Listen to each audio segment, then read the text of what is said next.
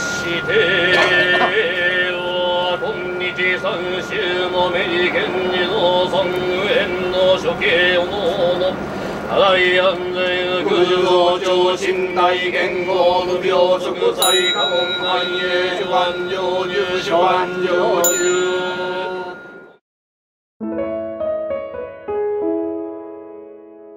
メリケンハトバはコンテナ輸送が主流となる中1983年から埋め立てられ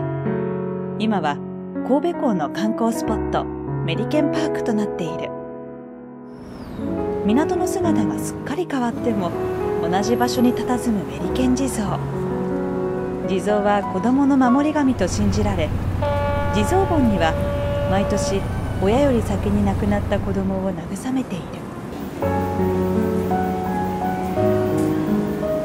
物流の拠点がコンテナ埠頭へ移っても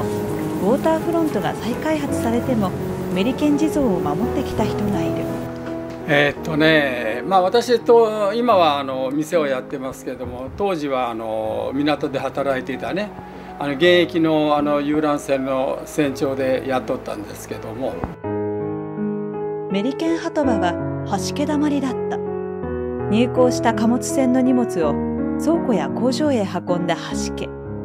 王子を知る門本さんは。まあ、あの記録では、まあ、神戸港には大体あの最盛期で昭和46年の半ばぐらいで、えー船原で46万トンですか、えー大体、まあ、2700隻から3000隻の橋家がいたであろうということなんですけども、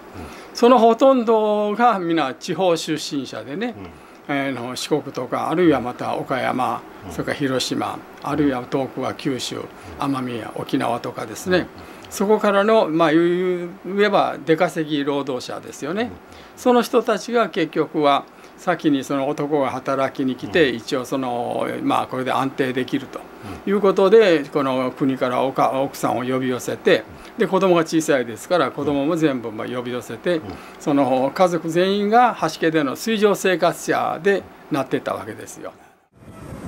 橋家での暮らしでは船や岸壁から海に落ちて亡くなる子どもも少なくなくこのお地蔵さんは1975年頃二役十字社の小野米吉さんによって安置されたそうだ。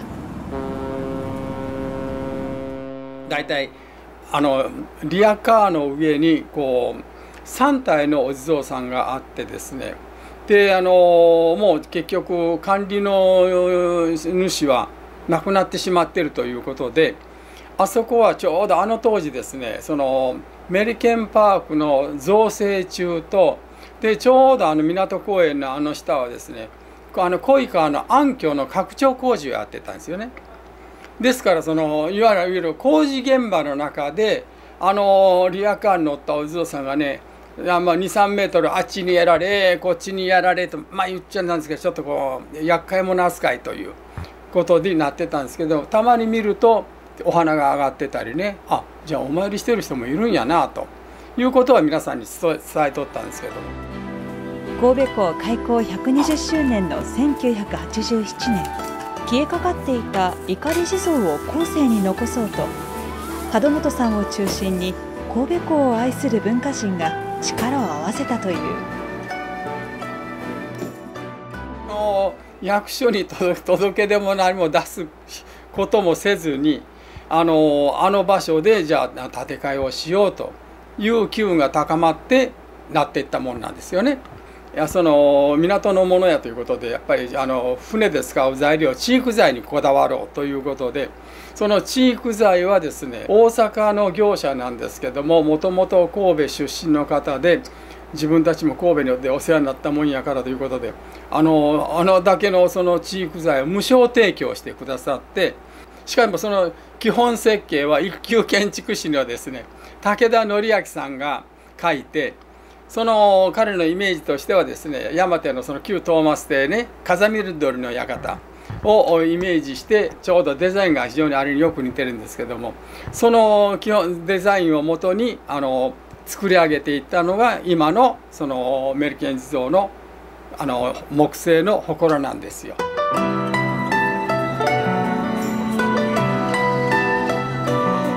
ざいます。えっとあ加藤さんまあいつものねあありがとうございます。ものだけお手伝いさせてもらいたいんですけど、はいはいどうぞ一緒にやりましょう。はい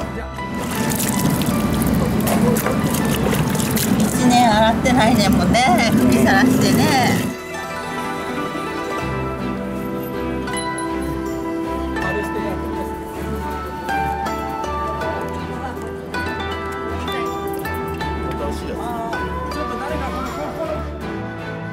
以来37年の間には賽銭箱が盗まれたことはあってもメリケン地蔵は阪神・淡路大震災にも倒れず無傷だった。うん、いいんじゃないかな、やっぱお地蔵さん、昔からね、丁目丁目なのは当たり前でしたからね、それがこの頃うっかりしたらなくなるようなね、でもここはあの場所がいいから、皆さんね、来ていただいて、うん、あーやっぱり守っていかないといけないなというふうに思ってます神戸の長い港の歴史を船長さんからお聞きしたときにね、やっぱりこれは語り継いでいく必要があるなと思いました。これからですね第38回目のこの神戸港のお祭り、えーメリケン地蔵のお祭りが始まります、えーこのね港で働いた方そして、えー転落して亡くなった子どもさんたちへのお弔いご供養でございまして神戸開港120年の昭和62年から欠かさず続けさせていただいております。常連下部医学人症交通電子小部小生東方定地はキャバンガチ最大用作用超万道飛行機微小作台風連下性寒力全性制限性症状食リアカーに乗り怒り地蔵と呼ばれていた時から地蔵盆には毎年地元神戸大龍寺の僧侶がお経をあげている。今日は本当にあのいつもよりもたくさんの方がお見えくださってお羊の力それで仏様の力そして周り全体の力によって大変いいご供養ができたと思います。し死ぬまで来ますからい嫌がられても来ますからよろしくお願いします。ありがとうございましたああ憧れのハワイ。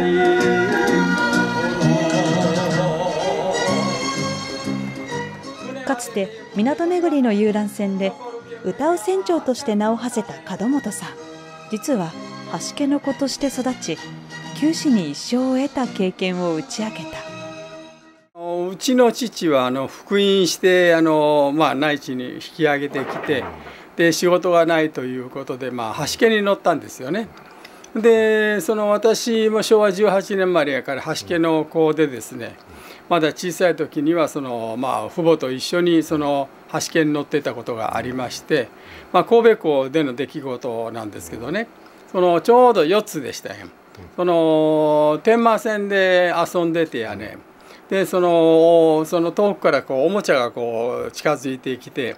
でそこにそのと取ろうとしてか手が届いた瞬間にボーンともう、まあ、逆さまになってね足が外れて海にドボンと落ちてで浮かんできたのがその天満線の船底やったと思うんです。でその状況をですね近くにいたその住友ボートのその人たちが見ててあ子供が落ちたということで、まあ、あの一応救助されたらしいんですけども私はだからもうもう何にももう分からなくて自分がこうあの気が付いたのはあの中戸っていうのはその公安病院のねベッドの上であの大人たちがこうみんなのぞ覗き込んでましたわそれはもう自分の記憶の中にあるんですけどねでもう一つ言えば私のいとこの男の子がねやっぱり同じくらいの年にその神戸港のその中戸っていうの近所で転落してそのまあ水水難にあった水死したと。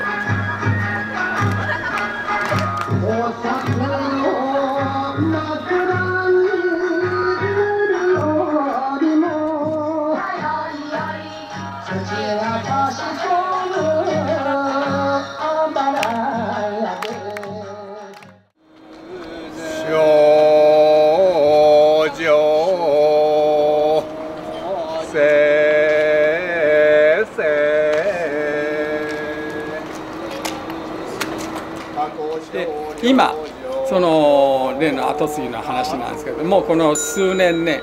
あのちょろちょろともうあの門本さんどうするの？という声は実際私の耳にも入ってます。うん。まあそうですねと。あのうちにもその会員さんがね、まあ、若い人もおるし。だからそれはそのそれでも話もしてますしね。港の方でしかるべき会社が非常にあの信心深い強心なその会社もあってでね最終的に私が皆さんに言ってるのは私が決めなくてもねお地蔵さんが自分のその世話するするしてくれる人をね見つけます探しますよきっとあの呼び込んできますからそれご心配なくというふうに私は言ってるんです。